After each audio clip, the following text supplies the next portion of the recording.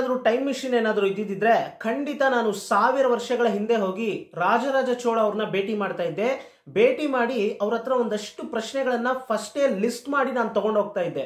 ಯಾವ ಯಾವ ಪ್ರಶ್ನೆಗಳು ಅಂದ್ರೆ ನಿಮ್ಮ ಕೈಯಲ್ಲಿ ಹೇಗೆ ಇಂತಹ ಒಂದು ಅದ್ಭುತವಾದಂತಹ ಸಾಧನೆಗಳನ್ನ ಮಾಡೋದಕ್ಕಾಯ್ತು? ಉದಾಹರಣೆಗೆ, ಹೇಗೆ ನಿಮಗೆ ತಂಜಾವೂರು ಬೃಹದೀಶ್ವರ ದೇವಸ್ಥಾನವನ್ನ ಅಷ್ಟು ಅದ್ಭುತವಾಗಿ ಕಟ್ಟೋದಕ್ಕೆ ಸಾಧ್ಯ ಆಯಿತು? ಹೀಗೆ ಹಲವಾರು ಪ್ರಶ್ನೆಗಳನ್ನ ಅವ್ರ ಹತ್ರ ಕೇಳಬೇಕು ಅಂತ ನಾನು ಲಿಸ್ಟ್ ಮಾಡ್ಕೊಂಡು ಹೋಗ್ತಾ ಇದ್ದೆ.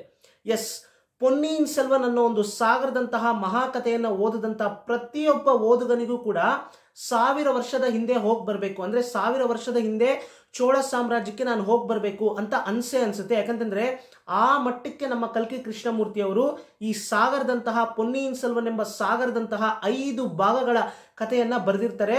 ಅಂದರೆ ಓದುಗರಿಗೆ ಇತಿಹಾಸದ ಮೇಲೆ ಆಸಕ್ತಿ ಬರಬೇಕು ಅಂತಂದರೆ ಖಂಡಿತ ಇಂತಹ ಅದ್ಭುತವಾದಂತಹ ಹಿಸ್ಟಾರಿಕಲ್ ಫಿಕ್ಷನ್ ನಾವೆಲ್ಸ್ ಓದೋದ್ರಿಂದ ತುಂಬಾ ಉಪಯೋಗ ಆಗುತ್ತೆ ಸ್ನೇಹಿತರೆ. ಅಂದರೆ ಮುಖ್ಯವಾಗಿ ಈ ಪೊನ್ನಿಯಿನ್ ಸೆಲ್ವನ್ ಅನ್ನೋ ಒಂದು ಕತೆ ಏನಿದೆ, ಈ ಕತೆ ಬಂದ ನಂತರ ಎಷ್ಟೋ ಜನಕ್ಕೆ ಇತಿಹಾಸದ ಮೇಲೆ ಕ್ಯೂರಿಯಾಸಿಟಿ ಹುಟ್ಟಾಕುತ್ತೆ. ಅಂದ್ರೆ ಎಷ್ಟೋ ಜನಕ್ಕೆ ಕ್ಯೂರಿಯಾಸಿಟಿ ಬರೋಕ್ಕೆ ಶುರು ಆಗುತ್ತೆ.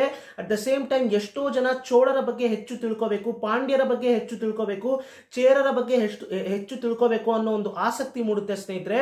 ಸೊ ಆ ಮಟ್ಟಕ್ಕೆ ನಮ್ಮ ಕಲ್ಕಿ ಕೃಷ್ಣಮೂರ್ತಿ ಅವರು ಈ ಸಾಗರದಂತಹ ಐದು ಭಾಗಗಳ ಮಹಾಕಥೆಯನ್ನ ಐತಿಹಾಸಿಕ ಹಿನ್ನೆಲೆಯನ್ನ ಆಧಾರವಾಗಿ ಇಟ್ಕೊಂಡು, ಅಂದ್ರೆ ಇತಿಹಾಸದಲ್ಲಿ ಏನೋ ಒಂದು ನಡೆದಿರುತ್ತೆ ಅಂದ್ರೆ ಒಂದಷ್ಟು ನೈಜ ಘಟನೆಗಳನ್ನ ಆಧಾರವಾಗಿ ಇಟ್ಕೊಂಡು, ಅದಕ್ಕೆ ನಮ್ಮ ಕಲ್ಕಿ ಕೃಷ್ಣಮೂರ್ತಿ ಅವರು ಅವರ ಒಂದು ಕಲ್ಪನೆಯನ್ನು ಮಿಶ್ರಣ ಮಾಡಿ ಬರೆದಿರ್ತಕ್ಕಂತಹ ಸಾಗರದಂತಹ ಮಹಾಕಥೆನೇ ಈ Ponniyin Selvan.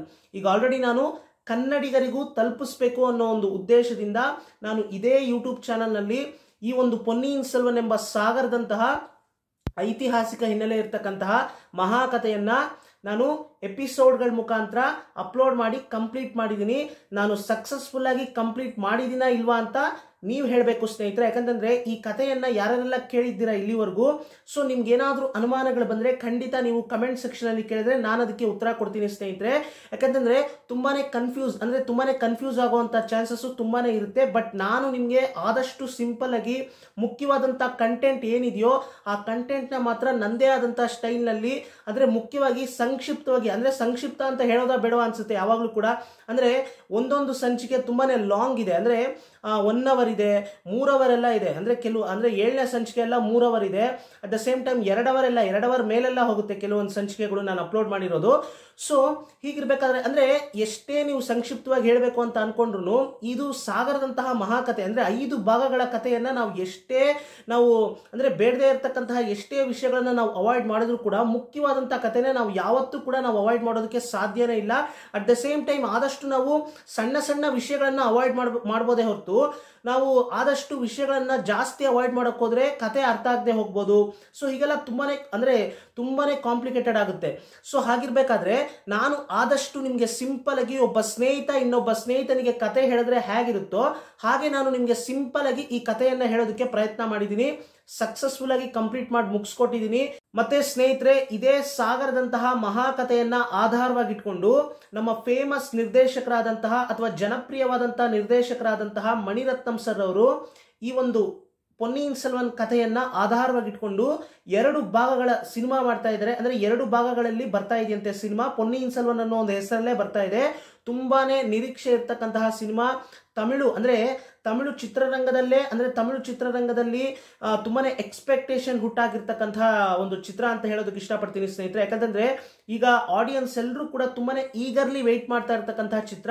At the same time ಇದು ಒಂದು ಪ್ಯಾನ್ ಇಂಡಿಯನ್ ಮೂವಿ ಆಗಿರೋದ್ರಿಂದ ಎಲ್ಲ ಭಾಷೆಗಳಲ್ಲೂ ಕೂಡ ಬರುತ್ತೆ. ಅಂದ್ರೆ ಇವಾಗ ಕೆ ಜಿ ಎಫ್ ಯಾವ ರೀತಿ ಎಲ್ಲ ಭಾಷೆಗಳಲ್ಲೂ ಬಂತು, ಅದೇ ರೀತಿ ಈ ಚಿತ್ರ ಕೂಡ ಎಲ್ಲ ಭಾಷೆಗಳಲ್ಲೂ ಬರೋದ್ರಿಂದ ಕನ್ನಡಿಗರು ಈ ಚಿತ್ರವನ್ನ ಚಿತ್ರಮಂದಿರಕ್ಕೆ ಹೋಗಿ ನೋಡಬೇಕಾದ್ರೆ ಅವ್ರಿಗೆ ಯಾವುದೇ ಕನ್ಫ್ಯೂಷನ್ ಆಗಬಾರ್ದು, ಗೊಂದಲ ಆಗಬಾರ್ದು ಅನ್ನೋ ಒಂದು ಉದ್ದೇಶದಿಂದ ನಾನು ನಿಮಗೆ ಈ ಕಥೆಯನ್ನು ಸಿಂಪಲ್ ಆಗಿ ಒಬ್ಬ ಸ್ನೇಹಿತ ಇನ್ನೊಬ್ಬ ಸ್ನೇಹಿತನಿಗೆ ಕತೆ ಹೇಳಿದ್ರೆ ಹೇಗಿರುತ್ತೋ ಹಾಗೆ ನಾನು ನಿಮಗೆ ಸಿಂಪಲ್ ಆಗಿ ಹೇಳಿ ಮುಗಿಸ್ಕೊಟ್ಟಿದ್ದೀನಿ ಸ್ನೇಹಿತರೆ. ಯಾಕೆಂತಂದರೆ ಐತಿಹಾಸಿಕ ಹಿನ್ನೆಲೆ ಇರ್ತಕ್ಕಂತಹ ಕಥೆ ಆದ್ದರಿಂದ ಎಷ್ಟೋ ವಿಷಯಗಳು ನೀವು ಅರ್ಥ ಮಾಡಿಕೊಂಡು ಅಂದರೆ ಬೇಸಿಕ್ಕಾಗಿ ಒಂದಷ್ಟು ವಿಷಯಗಳು ನೀವು ತಿಳ್ಕೊಂಡು ಚಿತ್ರಮಂದಿರಕ್ಕೆ ಹೋಗಿ ಈ ಚಿತ್ರವನ್ನು ವೀಕ್ಷಿಸಿದಾಗ ಎಲ್ಲೂ ಕೂಡ ನಿಮಗೆ ಕನ್ಫ್ಯೂಷನ್ಸ್ ಆಗೋದಿಲ್ಲ. ಅಟ್ ದ ಸೇಮ್ ಟೈಮ್ ಅಂದರೆ ಚಿತ್ರಮಂದಿರದಲ್ಲಿ ನೋಡಬೇಕಾದ್ರೆ ಆ ಒಂದು ಸ್ವಾರಸ್ಯವನ್ನು ನೀವು ಕಂಪ್ಲೀಟಾಗಿ ಎಂಜಾಯ್ ಮಾಡೋದಕ್ಕೆ ಸಾಧ್ಯ ಆಗುತ್ತೆ.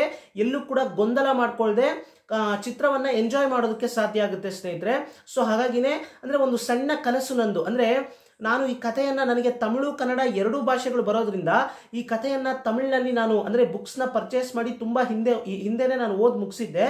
ಸೊ ನನಗೆ ಕನ್ನಡಿಗರಿಗೂ ತಲುಪಿಸ್ ತಲುಪಿಸ್ಬೇಕು ಅನ್ನೋ ಒಂದು ಯೋಚನೆ ನನ್ನ ತಲೆಯಲ್ಲಿ ಬಂದಿದ್ದ ತಕ್ಷಣ ಕೂಡಲೇ ನಾನು ಎಕ್ಸಿಕ್ಯೂಟ್ ಮಾಡೋದಕ್ಕೆ ಶುರು ಮಾಡ್ತೀನಿ. ಕೂಡಲೇ ಎಕ್ಸಿಕ್ಯೂಟ್ ಮಾಡಿ ಆದಷ್ಟು ಬೇಗ ಮುಗಿಸ್ಬೇಕು ಅಂತ ಅಂದ್ಕೊಂಡು ಆದಷ್ಟು ಬೇಗ ನಾನು ಮುಗಿಸ್ಕೊಟ್ಟಿದ್ದೀನಿ ಇನ್ನು ಸೆಪ್ಟೆಂಬರ್ ಮೂವತ್ತನೇ ತಾರೀಕು ರಿಲೀಸ್ ಆಗುತ್ತೆ ಅಂತ ಅಫಿಷಿಯಲ್ ಆಗಿ ಅನೌನ್ಸ್ ಮಾಡಿದ್ದಾರೆ. ಅಂದ್ರೆ ಮೂವಿ ಟೀಮಿಂದ ಅಫಿಷಿಯಲ್ ಆಗಿ ಅನೌನ್ಸ್ ಆಗಿರೋದು ಸೆಪ್ಟೆಂಬರ್ ಮೂವತ್ತನೇ ತಾರೀಕು. ಅಂದ್ರೆ ಈ ಚಿತ್ರ ರಿಲೀಸ್ ಮಾಡೋದು ಸೆಪ್ಟೆಂಬರ್ ಮೂವತ್ತನೇ ತಾರೀಕು ಅಂತ ಅಫಿಷಿಯಲ್ ಆಗಿ ಅವರು ಅನೌನ್ಸ್ ಮಾಡಿದ್ದಾರೆ ಮೂವಿ ಟೀಮಿಂದ ಸೊ ಗೊತ್ತಿಲ್ಲ, ಅದಕ್ಕಿಂತ ಮುಂದೆ, ಮುಂದೆನೇ ಹೋಗ್ಬೋದು. ಅಂದ್ರೆ ಪೋಸ್ಟ್ಪಾನ್ ಕೂಡ ಆಗ್ಬೋದು, ಹೇಳೋದಕ್ಕಾಗೋದಿಲ್ಲ. ಬಿಕಾಸ್ ಇದು ಈಗ, ಅಂದ್ರೆ ಈಗ ಪ್ರೆಸೆಂಟ್ಲಿ ಪೋಸ್ಟ್ ಪ್ರೊಡಕ್ಷನ್ ನಡೀತಾ ಇದೆ ಅಂತ ನಾನು ಕೇಳ್ಪಟ್ಟೆ.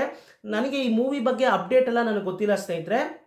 ಬಟ್ ಹಂಡ್ರೆಡ್ ಪರ್ಸೆಂಟ್ ಈ ಮೂವಿ ಬರ್ತಾ ಇರೋದಂತೂ ಹಂಡ್ರೆಡ್ ಪರ್ಸೆಂಟ್ ಬಂದೇ ಬರುತ್ತೆ. ಅದರಲ್ಲಿ ಯಾವುದೇ ಒಂದು ಅದರಲ್ಲಿ ಯಾವುದೇ ಡೌಟ್ ಇಲ್ಲ. ಸೊ ಹಾಗಾಗಿನೇ ಕನ್ನಡಿಗರು ಈ ಚಿತ್ರವನ್ನ ಚಿತ್ರಮಂದಿರಕ್ಕೆ ಹೋಗಿ ನೋಡಬೇಕಾದ್ರೆ ಯಾವುದೇ ಕನ್ಫ್ಯೂಷನ್ಸ್ ಇಲ್ಲದೆ ನೋಡಬೇಕು. ಸೊ ಆ ಒಂದು ಉದ್ದೇಶದಿಂದ ನಾನು ನಿಮಗೆ ಈ ಒಂದು ಕಥೆಯನ್ನು ನಾನು ಸಿಂಪಲ್ ಆಗಿ ಹೇಳಿ ಮುಗಿಸ್ಕೊಟ್ಟಿದ್ದೀನಿ ಸ್ನೇಹಿತರೆ. ನಿಮ್ಗೆ ಏನಾದರೂ ಅನುಮಾನಗಳು ಬಂದರೆ ಖಂಡಿತ ನೀವು ಕಮೆಂಟ್ ಸೆಕ್ಷನಲ್ಲಿ ಕೇಳಿದ್ರೆ ನಾನು ಅದಕ್ಕೆ ಉತ್ತರ ಕೊಡ್ತೀನಿ ಸ್ನೇಹಿತರೆ. ಆ್ಯಂಡ್ ಮುಖ್ಯವಾಗಿ ಇದು ಇದು ಜಸ್ಟ್ ಒಂದು ಹಿಸ್ಟಾರಿಕಲ್ ಫಿಕ್ಷನ್ ನಾವೆಲ್ ಅಷ್ಟೇ. ಚೋಳರ ಇತಿಹಾಸವನ್ನು ನಾವು, ನಾನು ತಿಳ್ಕೋಬೇಕು ಅಂದರೆ ಪೊನ್ನಿಯಿನ್ ಸೆಲ್ವನ್ ಕಥೆಯನ್ನು ಓದಿದ್ರೆ ಸಾಕ? ಅಥವಾ ಈ ಪೊನ್ನಿಯಿನ್ ಸೆಲ್ವನ್ ಕಥೆಯನ್ನು ತಿಳ್ಕೊಂಡ್ರೆ ಸಾಕ ಅಂತ ನೀವು ನನ್ನ ಹತ್ರ ಕೇಳಿದ್ರೆ ಖಂಡಿತ ಅದು ತಪ್ಪು ಸ್ನೇಹಿತರೆ ಪೊನ್ನಿಯಿನ್ ಸೆಲ್ವನ್ ಕಥೆ ಅನ್ನೋದು ಚೋಳ ಸಾಮ್ರಾಜ್ಯದಲ್ಲಿ ನಡೆದಂಥ ಒಂದಷ್ಟು ನೈಜ ಘಟನೆಗಳನ್ನು ಆಧಾರವಾಗಿಟ್ಕೊಂಡು ಅದಕ್ಕೆ ನಮ್ಮ ಕಲ್ಕಿ ಕೃಷ್ಣಮೂರ್ತಿಯವರು ಅವರ ಒಂದು ಕಲ್ಪನೆಯನ್ನು ಮಿಶ್ರಣಗೊಳಿಸಿ ಬರೆದಿರ್ತಕ್ಕಂತಹ ಸಾಗರದಂತಹ ಮಹಾಕಥೆನೇ ಈ ಪೊನ್ನಿಯಿನ್ ಸೆಲ್ವನ್. ಸೊ ಹಾಗಾಗಿ ಪೊನ್ನಿ ಅಂದರೆ ಕಾವೇರಿ, ಸೆಲ್ವನ್ ಅಂದರೆ ಮಗ. ಯಾವತ್ತೂ ಕೂಡ ನೆನಪಲ್ಲಿ ಇಟ್ಕೊಳ್ಳಿ ಸ್ನೇಹಿತರೆ. ಸೊ ಹೀಗಿರಬೇಕಾದ್ರೆ ಈ ಕತೆ ಅಂದರೆ ಇದಕ್ಕೂ ಮೀರಿ ಇನ್ನೂ ಹೇಳ್ಬೇಕಂತಂದ್ರೆ ಈ ಕಥೆಯನ್ನ ಓದಿದ್ರೆ ಚೋಳರ ಬಗ್ಗೆ ಹೆಚ್ಚು ತಿಳ್ಕೋಬೇಕು. ಇನ್ನೂ ಹೇಳಬೇಕಂದ್ರೆ ದಕ್ಷಿಣ ಭಾರತದ ಇತಿಹಾಸದ ಬಗ್ಗೆ ಹೆಚ್ಚು ತಿಳ್ಕೋಬೇಕು. ಯಾಕಂತಂದ್ರೆ ಪೊನ್ನಿಯಿನ್ ಸೆಲ್ವನ್ ಕಥೆಯನ್ನ ಓದಬೇಕಾದ್ರೆ ರಾಷ್ಟ್ರಕೂಟರ ಬಗ್ಗೆ ಹೇಳಿರ್ತಾರೆ, ಸ್ವಲ್ಪ ಮಾಹಿತಿಯನ್ನ ಕೊಟ್ಟಿರ್ತಾರೆ ನಮ್ಮ ಕಲ್ಕಿ ಕೃಷ್ಣಮೂರ್ತಿಯವರು ಯಾಕಂತಂದರೆ ತಕ್ಕೋಲಂ ಅನ್ನೋ ಒಂದು ಮಹಾಯುದ್ಧದಲ್ಲಿ ರಾಜಾದಿತ್ಯ ಚೋಳ ಅವರು ವೀರಮರಣವನ್ನು ಹೊಂದುತ್ತಾರೆ. ಯಾಕಂತಂದ್ರೆ ರಾಷ್ಟ್ರಕೂಟರ ಆಗಿನ ಒಂದು ಕಾಲಘಟ್ಟದಲ್ಲಿ ರಾಷ್ಟ್ರಕೂಟರ, ಅಂದ್ರೆ ರಾಷ್ಟ್ರಕೂಟರ ಸಾಮ್ರಾಜ್ಯವನ್ನ ಆಳ್ವಿಕೆ ನಡೆಸ್ತಾ ಇದ್ದಂತಹ ಕನ್ನರ ದೇವನವರು ಯುದ್ಧ ಮಾಡೋದಕ್ಕಂತ ಬಂದಾಗ ಆ ಯುದ್ಧದಲ್ಲಿ ನಮ್ಮ ರಾಜಾದಿತ್ಯ ಚೋಳ ಅವರು ವೀರಮರಣವನ್ನು ಹೊಂದುತ್ತಾರೆ. ಸೊ ಈ ಒಂದು ವಿಷಯದ ಬಗ್ಗೆ ನಾವು, ಅಂದರೆ ಈ ಕತೆ ಹೇಳಬೇಕಾದ್ರೆ ನಮ್ಮ ಕಲ್ಕಿ ಕೃಷ್ಣಮೂರ್ತಿ ಅವರು ಹೇಳಿರ್ತಾರೆ. ಅದನ್ನು ಕೂಡ ನಾನು ಎಕ್ಸ್ಪ್ಲೈನ್ ಮಾಡಿದ್ದೀನಿ ಕತೆ ಹೇಳಬೇಕಾದ್ರೆ. ಕತೆ ಕೇಳಿರೋರಿಗೆ ಇದೆಲ್ಲ ಗೊತ್ತಿರುತ್ತೆ. ಸೊ ಹಾಗಾಗಿ, ಅಂದರೆ ನಮಗೆ ರಾಷ್ಟ್ರಕೂಟರಾಗಿರ್ಬೋದು, ಕದಂಬರಾಗಿರ್ಬೋದು, ಹೊಯ್ಸಳರಾಗಿರ್ಬೋದು, ಚಾಲುಕ್ಯರಾಗಿರ್ಬೋದು ಸೊ ಹೀಗೆ ಗಂಗರು, ಪಲ್ಲವರು, ಚೋಳರು, ಚೇರರು, ಪಾಂಡ್ಯರು ಇವ್ರ ಬಗ್ಗೆ ಎಲ್ಲ ನಮಗೆ ಹೆಚ್ಚು ಹೆಚ್ಚು ನಮಗೆ ತಿಳ್ಕೋಬೇಕು ಅನ್ನೋ ಒಂದು ಆಸೆ ಬರಬೇಕು ಅಥವಾ ಕ್ಯೂರಿಯಾಸಿಟಿ ನಮಗೆ ಬರಬೇಕು ಅಂತಂದರೆ ಖಂಡಿತ ಇಂತಹ ಅದ್ಭುತವಾದಂಥ ಫಿಕ್ಷನ್ ಅಂದರೆ ಹಿಸ್ಟಾರಿಕಲ್ ಫಿಕ್ಷನ್ ನಾವೆಲ್ಸ್ ಓದೋದ್ರಿಂದ ಖಂಡಿತ ನಮಗೆ ಒಂದು ಮೋಟಿವ್ ಆಗಿ, ಅಂದರೆ ಇದೇ ಒಂದು ಮೋಟಿವ್ ಆಗಿರುತ್ತೆ. ಅಂದರೆ ನಾವು ಫಿಕ್ಷನ್ ಅಂದರೆ ಈ ರೀತಿ ನಾವೆಲ್ಸ್ನ ನಾವೆಲ್ಸ್ನ ಓದಿದಾಗ ನಮಗೆ ಖಂಡಿತ ನಿಜವಾಗ್ಲೂ ಇತಿಹಾಸದಲ್ಲಿ ಏನು ನಡೆದಿರ್ಬೋದು ಅನ್ನೋ ಒಂದು ಕ್ಯೂರಿಯಾಸಿಟಿ ಖಂಡಿತ ಆಟೋಮೆಟಿಕ್ಕಾಗಿ ನಮ್ಮಲ್ಲಿ ಆ ಒಂದು ಕ್ಯೂರಿಯಾಸಿಟಿ ಬಂದೇ ಬರುತ್ತಲ್ವಾ?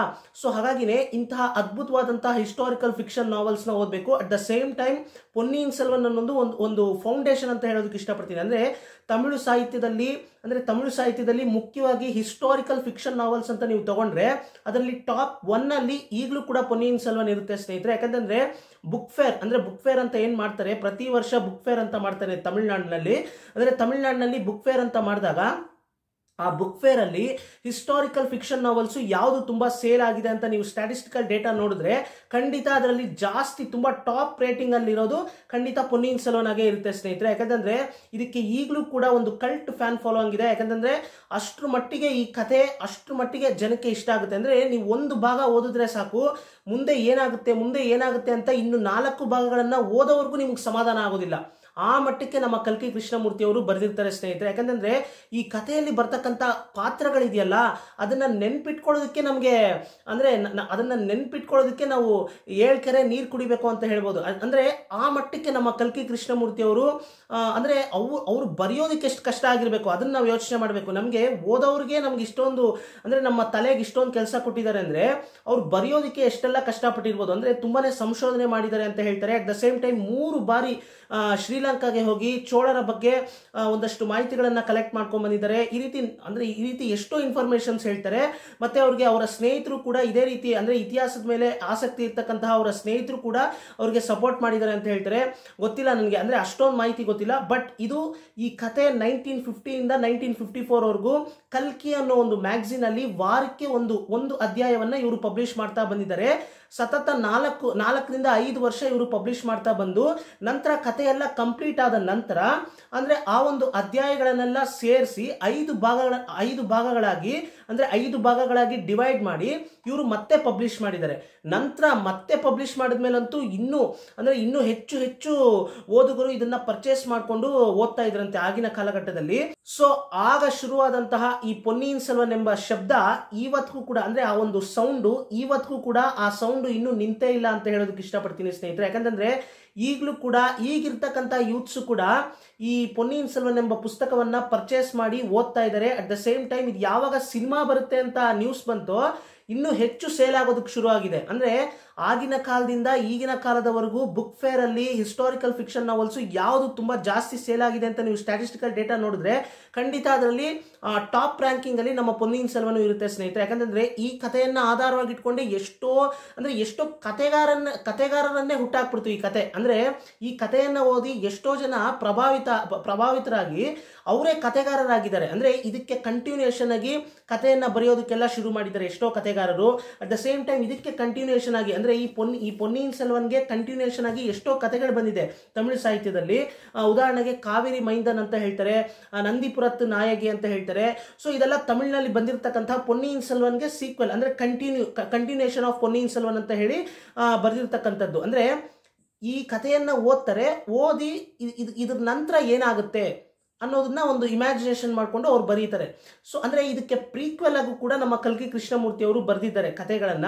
ಸೊ ಅದ್ರ ಬಗ್ಗೆ ಎಲ್ಲ ನಾನು ಹೇಳಕ್ ಹೋದ್ರೆ ತುಂಬಾನೇ ಕನ್ಫ್ಯೂಸ್ ಆಗ್ಬಿಡುತ್ತೆ. ನೀವು ಪ್ರೀಕ್ವೆಲ್ ಓದಿಲ್ಲ ಅಂದ್ರೂ ನೀವು ನೀವು ಪ್ರೀಕ್ವೆಲ್ನ ಓದಿದ್ರು ಸರಿ ಅಥವಾ ಓದಿಲ್ಲ ಅಂದ್ರೂ ಸರಿ ಅಥವಾ ಸೀಕ್ವೆಲ್ನ ಓದಿದ್ರು ಸರಿ, ಓದಿಲ್ಲ ಅಂದ್ರೂ ಸರಿ, ನೀವು ಪೊನ್ನಿಯಿನ್ ಸೆಲ್ವನ್ನ ಓದಿದ್ರೆ ಸಾಕು. ನಿಮ್ಗೆಲ್ಲವೂ ಕೂಡ ಕರೆಕ್ಟಾಗಿ ಅರ್ಥ ಆಗುತ್ತೆ. ಬಿಕಾಸ್ ಪೊನ್ನಿಯಿನ್ ಸೆಲ್ವನ್ ಎಂಬ ಸಾಗರದಂತಹ ಮಹಾಕಥೆಗೆ ಒಂದು ಎಂಡ್ ಅನ್ನೋದು ಇದೆಯಾ ಅಂದ್ರೆ ಎಂಡ್ ಅನ್ನೋದಿಲ್ಲ ಸ್ನೇಹಿತರೆ. ಯಾಕಂದ್ರೆ ಈ ಪೊನ್ನಿಯಿನ್ ಸೆಲ್ವನ್ ಎಂಬ ಕತೆ ರಾಜರಾಜ ಚೋಳ ಅವರು ರಾಜ ಆಗೋದಕ್ಕಿಂತ ಮುಂಚೆ ಒಂದು ಆರು ತಿಂಗಳುಗಳ ಕಾಲ ಏನಾಯ್ತು? ಅಂದ್ರೆ ಒಂದು ಆರು ತಿಂಗಳುಗಳ ಕಾಲ ಚೋಳ ಸಾಮ್ರಾಜ್ಯದಲ್ಲಿ ಒಂದಷ್ಟು ಘಟನೆಗಳು ನಡೆಯುತ್ತೆ. ನಮ್ಮ ರಾಜರಾಜ ಚೋಳ ಅವರು ರಾಜ ಆಗೋದಕ್ಕಿಂತ ಮುಂಚೆ, ಅಂದ್ರೆ ಹರೆಯದ ವಯಸ್ಸು, ಒಂದು ಒಂದು ಇಪ್ಪತ್ತು ವರ್ಷ, ಹದಿನೆಂಟು ಹದಿನೆಂಟು, ಇಪ್ಪತ್ತು ವರ್ಷ, ಅಂದ್ರೆ ವಯಸ್ಸು ಹುಡುಗ. ಸೊ ಆ ಅಂತಹ ಸಂದರ್ಭದಲ್ಲಿ ಚೋಳ ಸಾಮ್ರಾಜ್ಯದಲ್ಲಿ ಒಂದಷ್ಟು ಘಟನೆಗಳು ನಡೆಯುತ್ತೆ. ಆ ಘಟನೆಗಳನ್ನು ಆಧಾರವಾಗಿಟ್ಕೊಂಡು ಅದಕ್ಕೆ ನಮ್ಮ ಕಲ್ಕಿ ಕೃಷ್ಣಮೂರ್ತಿಯವರು ಅವರ ಕಲ್ಪನೆಯನ್ನು ಮಿಶ್ರಣಗೊಳಿಸಿ ಬರೆದಿರ್ತಕ್ಕಂತಹ ಸಾಗರದಂತಹ ಮಹಾಕಥೆನೇ ಈ Ponniyin Selvan. At the same time ಈ ಪೊನ್ನಿಯಿನ್ ಸೆಲ್ವನ್ನಲ್ಲಿ ಕಡೆಗೆ ಯಾರು ರಾಜ ಆಗ್ತಾರೆ? At the same time Aditya Karikalan ಅವರ ಕೊಲೆ ಹೇಗೆ ನಡೆಯುತ್ತೆ? ಅಟ್ ದ ಸೇಮ್ ಟೈಮ್ ತುಂಬ ಹಲವಾರು ಪ್ರಶ್ನೆಗಳು, ಅಂದರೆ ಈ ಕಥೆಯನ್ನು ಕೇಳಿದಂಥ ಪ್ರತಿಯೊಬ್ಬರಿಗೂ ಕೂಡ ಹಲವಾರು ಪ್ರಶ್ನೆಗಳು ಕಾಡೋದಕ್ಕೆ ಶುರು ಆಗುತ್ತೆ. ಎಷ್ಟೋ ಪ್ರಶ್ನೆಗಳು ನಮ್ಮ ಕಲ್ಕಿ ಕೃಷ್ಣಮೂರ್ತಿ ಅವರು, ನಾನು ಹೇಳೋದಿಲ್ಲ ಸ್ನೇಹಿತರೆ, ಖಂಡಿತ ನಾನು ಹೇಳೋದಿಲ್ಲ. ಯಾಕಂತಂದ್ರೆ ಕತೆ ಕೇಳಿದಂಥ ಎಷ್ಟೋ ಜನಕ್ಕೆ ನಾನು ಏನು ಹೇಳಕ್ ಬರ್ತಾ ಇದ್ದೀನಿ ಅಂತ ಗೊತ್ತಾಗಿರುತ್ತೆ. ಬಟ್ ಎಷ್ಟೋ ಜನ ಕತೆ ಕೇಳಿಲ್ಲ. ಸೊ ಯಾರೆಲ್ಲ ಕತೆ ಕೇಳಿಲ್ವೋ ಅವ್ರಿಗೆ ನಾನು ಸ್ಪಾಯ್ಲ್ ಮಾ, ಅಂದರೆ ಸ್ಪಾಯ್ಲರ್ ಮಾಡೋ ರೀತಿ ಆಗಿಬಿಡುತ್ತೆ. ಸೊ ಹಾಗಾಗಿ ಇದ್ರ ಬಗ್ಗೆ ಇನ್ನೂ ಜಾಸ್ತಿ ಮಾತಾಡೋಕೆ ಹೋದ್ರೆ ನಾನು ಕತೆ ಬಗ್ಗೆ ಎಷ್ಟೋ ಸೀಕ್ರೆಟ್ಸ್ನ ನಾನು ಇದರಲ್ಲೇ ರಿವೀಲ್ ಮಾಡಿಬಿಟ್ರೆ ಕೇಳದೆ ಇರ್ತಕ್ಕಂಥ ಎಷ್ಟೋ ಜನ ಇದ್ದಾರೆ. ಸೊ ಅವರೆಲ್ಲನೂ ಕೇಳಬೇಕು, ಅವ್ರಿಗೂ ಕೂಡ ಕ್ಯೂರಿಯಾಸಿಟಿ ಇರಬೇಕು, ಅವ್ರಿಗೂ ಕೂಡ ಕುತೂಹಲ ಇರಬೇಕಲ್ವಾ? ಸೊ ಹಾಗಾಗಿನೇ ಇದ್ರ ಬಗ್ಗೆ ಅಂದರೆ ಕತೆ ಬಗ್ಗೆ ಅಷ್ಟೊಂದು ಹೆಚ್ಚಾಗಿ ಮಾತಾಡೋದು ಬೇಡ. ಸೊ ಹಾಗಾಗಿ ನಾನು ಈ ವಿಡಿಯೋದಲ್ಲಿ ಏನು ಹೇಳೋದಕ್ಕೆ ಬರ್ತಾ ಇದ್ದೀನಿ ಅಂದರೆ ಮತ್ತೆ ಮತ್ತೆ ಈ ಕಥೆ ಬಗ್ಗೆ ಯಾಕೆ ಇಷ್ಟೊಂದು ನಾನು ಪ್ರಾಮುಖ್ಯತೆ ಕೊಡ್ತಾ ಇದ್ದೀನಿ ಅಂದರೆ ಚೋಳರು ಅಂದರೆ ಅವರ ಇತಿಹಾಸವನ್ನು ನೀವು ಒಮ್ಮೆ ಅಂದರೆ ಅವರ ನಿಜವಾದಂಥ ಇತಿಹಾಸವನ್ನು ನೀವು ಒಮ್ಮೆ ನೋಡಿದ್ರೆ ಅವ್ರು ಮಾಡಿರ್ತಕ್ಕಂಥ ಸಾಧನೆಗಳು ಅಪಾರ ಸ್ನೇಹಿತರೆ. ಒಂದು ಹ್ಯಾಟ್ಸ್ ಆಫ್ ಹೇಳೋದಕ್ಕೆ ಇಷ್ಟಪಡ್ತೀನಿ. ಯಾಕಂತಂದರೆ ರಾಜೇಂದ್ರ ಚೋಳ ಅವರಾಗಿರ್ಬೋದು, ರಾಜರಾಜ ಚೋಳ ಅವರಾಗಿರ್ಬೋದು ಇವರಿಬ್ಬರು ಅಂದರೆ ಅಪ್ಪ, ಮಗ ಮಾಡಿರ್ತಕ್ಕಂಥ ಸಾಧನೆ ಇದೆಯಲ್ಲ.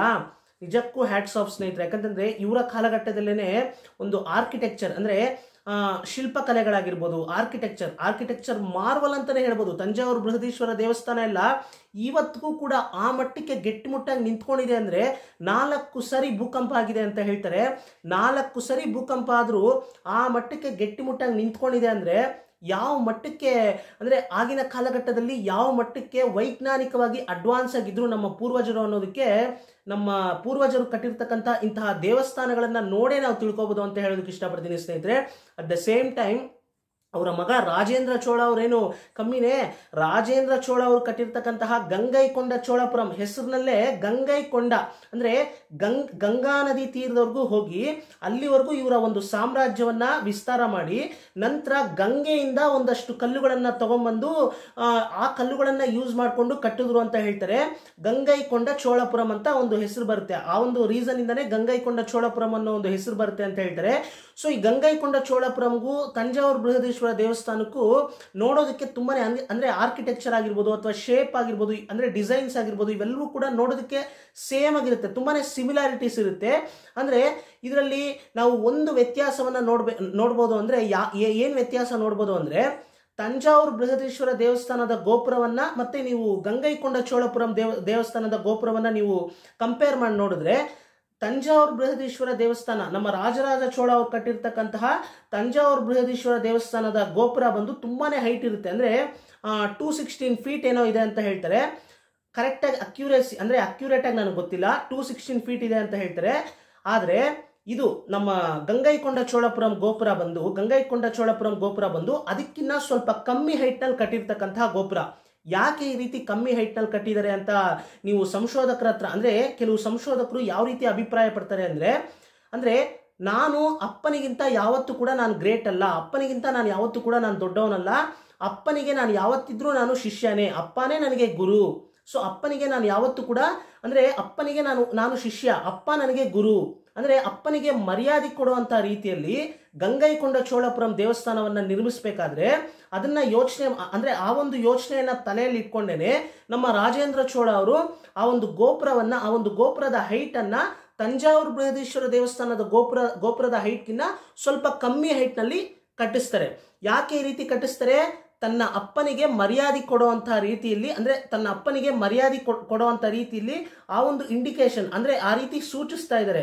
ಅಂದ್ರೆ ಗೋಪುರವನ್ನ, ಅಂದ್ರೆ ನಾನು ಯಾವತ್ತೂ ಕೂಡ ನನ್ನ ನನ್ನ ಅಪ್ಪನಿಗಿಂತ ನಾನೇನು ಗ್ರೇಟ್ ಅಲ್ಲ ಅನ್ನೋ ಒಂದು ವಿಷಯವನ್ನ ಅವರು ಇಂಡೈರೆಕ್ಟ್ ಆಗಿ ಹೇಳಿದ್ದಾರೆ ಅನ್ನೋ ಒಂದು ಈ ರೀತಿ ಅಭಿಪ್ರಾಯ ಪಡ್ತಾರೆ ನಮ್ಮ ಸಂಶೋಧಕರು ಈ ರೀತಿ ಅಭಿಪ್ರಾಯ ಪಟ್ಟಿದ್ದಾರೆ ಸೊ ಎಷ್ಟು ಅದ್ಭುತ ಅಲ್ವಾ ಸ್ನೇಹಿತರೆ. ಆಗಿನ ಕಾಲಘಟ್ಟದಲ್ಲಿ ನಮ್ಮ ರಾಜೇಂದ್ರ ಚೋಳ ಅವರು ನಮ್ಮ ಅಂದ್ರೆ ಅವರ ತಂದೆ ಆದಂತಹ ರಾಜರಾಜ ಚೋಳ ಅವ್ರಿಗೆ ಅಂದ್ರೆ ಮರ್ಯಾದೆ ಕೊಡೋ ರೀತಿಯಲ್ಲಿ ಅಂದ್ರೆ ಅಪ್ಪನಿಗಿಂತ ನನಗೆ ನಾನೇನ್ ಗ್ರೇಟ್ ಅಲ್ಲ ಅನ್ನೋ ಒಂದು, ಆ ಒಂದು ವಿಷಯವನ್ನ ಕನ್ವೆ ಮಾಡೋ ರೀತಿಯಲ್ಲಿ ಗಂಗೈಕೊಂಡ ಚೋಳಪುರಂ ದೇವಸ್ಥಾನದ ಗೋಪುರವನ್ನ ಹೈಟ್ನಲ್ಲಿ ಕಮ್ಮಿ ಮಾಡಿ ಕಟ್ಟಿದ್ದಾರೆ.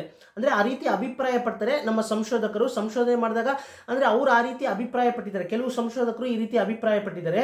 ಅಟ್ ದ ಸೇಮ್ ಟೈಮ್ ನೀವು ಗೋಪುರವನ್ನ ನೋಡ್ಬೋದು. ಅಂದ್ರೆ ಈಗಲೂ ಕೂಡ ನೀವು ಗಂಗೈಕೊಂಡ ಚೋಳಪುರಂಗೂ ಮತ್ತೆ ತಂಜಾವೂರು ಬೃಹದೀಶ್ವರ ದೇವಸ್ಥಾನವನ್ನು ನೀವು ವಿಸಿಟ್ ಮಾಡಿದಾಗ ತಂಜಾವೂರು ಬೃಹದೀಶ್ವರ ದೇವಸ್ಥಾನದ ಗೋಪುರ ತುಂಬಾನೇ ಹೈಟ್ ಇರುತ್ತೆ. ನೀವು ಗಂಗೈಕೊಂಡ ಚೋಳಪುರಂ ದೇವಸ್ಥಾನವನ್ನ ನೀವು ವಿಸಿಟ್ ಮಾಡಿದಾಗ ಆ ಒಂದು ಗೋಪುರ ತುಂಬಾನೇ ಹೈಟ್ನಲ್ಲಿ ಕಮ್ಮಿ ಇರುತ್ತೆ. ತಂಜಾವೂರು ಬೃಹದೀಶ್ವರ ದೇವಸ್ಥಾನದ ಗೋಪುರಕ್ಕಿಂತ ಗಂಗೈಕೊಂಡ ಚೋಳಪುರಂ ದೇವಸ್ಥಾನದ ಗೋಪುರ ಹೈಟ್ನಲ್ಲಿ ಸ್ವಲ್ಪ ಕಮ್ಮಿ ಇರುತ್ತೆ. ಸೊ ಹಾಗಾಗಿ ಮತ್ತೆ ಸಿಮಿಲಾರಿಟೀಸ್ ಅಂದ್ರೆ ಡಿಸೈನ್ಸು ಅಥವಾ ಆರ್ಕಿಟೆಕ್ಚರು ಇವೆಲ್ಲ ನೋಡಿದಾಗ ನೋಡೋದಕ್ಕೆ ಒಂದೇ ತರ ಇದೆಯಲ್ಲಪ್ಪ ಎರಡು ದೇವಸ್ಥಾನನು, ಆದ್ರೆ ಹೈಟ್ ಅಲ್ಲಿ ಮಾತ್ರ ಸ್ವಲ್ಪ ಕಮ್ಮಿ ಇರಂಗಿದೆ ಈ ದೇವಸ್ಥಾನ ಅಂತ ನಿಮ್ಗೆ ಅನ್ಸುತ್ತೆ. ಅಟ್ ದ ಸೇಮ್ ಟೈಮ್ ಗೋಪುರ ಮಾತ್ರ ಅಂದ್ರೆ ಹೈಟ್ನಲ್ಲಿ ಎರಡು ಕೂಡ ಕಂಪೇರ್ ಮಾಡಿದಾಗ ಅಂದ್ರೆ ಹೈಟ್ನಲ್ಲಿ ಸ್ವಲ್ಪ ಕಮ್ಮಿ ಇರುತ್ತೆ ಸ್ನೇಹಿತರೆ. ಗಂಗೈಕೊಂಡ ಚೋಳಪುರಂ ದೇವಸ್ಥಾನದ ಗೋಪುರ. ಸೊ ಹೀಗೆ ಹಲವಾರು ವಿಷಯಗಳನ್ನ at the same time Rajendra Chola ಅವರು ಬರೀ ಅಂದ್ರೆ ದಕ್ಷಿಣ ಭಾರತದಲ್ಲಿ ಅಥವಾ ನಾರ್ತ್ ಇಂಡಿಯಾನ ಆಕ್ಯುಪೈ ಮಾಡ್ಕೊಂಡ್ರು. ಅದ್- ಅಂದ್ರೆ ನಾರ್ತ್ ಇಂಡಿಯಾ ಅಂದ್ರೆ ಗಂಗಾ ನದಿ ತೀರದವರೆಗೂ ಹೋದ್ರು, ಅಲ್ಲಿವರೆಗೂ ವಿಸ್ತಾರ ಮಾಡ್ಕೊಂಡ್ರು. ಇದಲ್ಲದೆ ಇವರು ಅಂದ್ರೆ ಭಾರತವನ್ನ ಬಿಟ್ಟು ಸಾಗರದ ಆಚೆ ಹೋಗಿ ವಿಯಟ್ನಾಂ ಆಗಿರ್ಬೋದು ಶ್ರೀಲಂಕಾ ಆಗಿರ್ಬೋದು ಶ್ರೀಲಂಕಾ ಆಗಿರ್ಬೋದು, ಶ್ರೀಲಂಕಾ ಅಂತೂ ಫುಲ್ ಆಕ್ಯುಪೈ ಮಾಡ್ಕೊಂಡು, ಮಾಡ್ಕೋತಾರೆ. ನಮ್ಮ ರಾಜೇಂದ್ರ ಚೋಳ ಅವರು ಅವರ ಒಂದು ಪೀರಿಯಡ್ನಲ್ಲಿ ನಲ್ಲಿ. ನಂತರ ವಿಯಟ್ನಾಂ ಆಗಿರ್ಬೋದು at the same time Kadaram Konda ಅನ್ನೋ ಒಂದು ಪಟ್ಟವನ್ನು ಬೇರೆ ಸಂಪಾದನೆ ಮಾಡ್ಕೋತಾರೆ. ಕಡಾರಂ ಅನ್ನೋದು ಈಗ ಮಲೇಷ್ಯಾದಲ್ಲಿರ್ತಕ್ಕಂಥ ಒಂದು ಊರು. ಅಂದರೆ ಕಡಾರಂ ಅನ್ನೋದನ್ನ ಈಗ ಏನಂತಾರೆ ಅಂತ ನನಗೆ ಗೊತ್ತಿಲ್ಲ.